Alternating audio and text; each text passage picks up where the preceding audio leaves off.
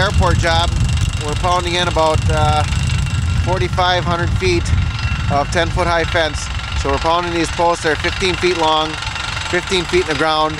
And uh, the setup behind me is what we're using. What we actually are using is an old Kiwi pounder we retrofitted to hold a Rhino. Uh, we got a PD 140 on top of that Kiwi pounder. We use the actual Kiwi pounder to actually lift that, set it on the post, and help drive it in. So the boom actually gets lowered as you're pounding it in to get it down to your five foot mark. We uh, typically put all our corner posts in first so we can run our bottom tension wire and that's what we're using as our, our, our line mark.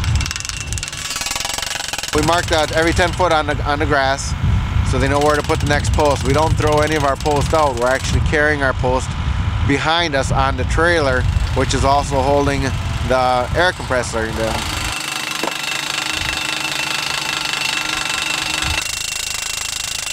And then as he's pounding the post down, we got one guy running the, the, the Kiwi pounder and uh, air compressor, where the and the other guy is leveling it. Then the third person is actually on the tractor, staying on the tractor, just moving the tractor forward as we get to the next post.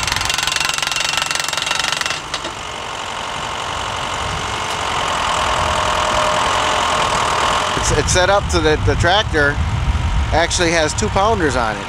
We got the Kiwi pounder in the back with the Rhino, and we also have another Rhino that's in the front, and that one there has a sleeve on it designed for a three inch post where we're doing only in the corners you got three posts to pound in versus uh, the line post is set up for two and a half inch and that's set up on the Kiwi pounder.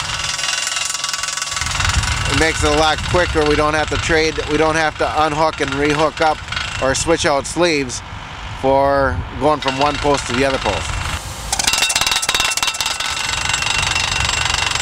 We're pounding these posts in anywhere from one minute or one and a half minutes to two minutes a post. So give or take, you know, depending on any problems, uh, hitting ruts or things like that. At this airport, we actually moved the fence line in 10 feet in, in uh, numerous spots because of the problems with the existing fence in other areas where we've had to do was put temporary fence up before we can actually take down the existing fence and pound in a new fence. And then on this airport, again, there's some areas that we're actually extending the fence to 10 foot tall from 8 foot.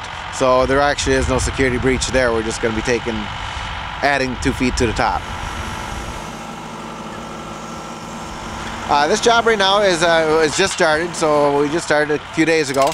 We've already pounded in 1,500 feet uh, yesterday. We're trying to get another 1,500 feet pounded in today. Um, shouldn't have no problems doing that. Provided that the snow don't come too early, we should have no problem getting this job done.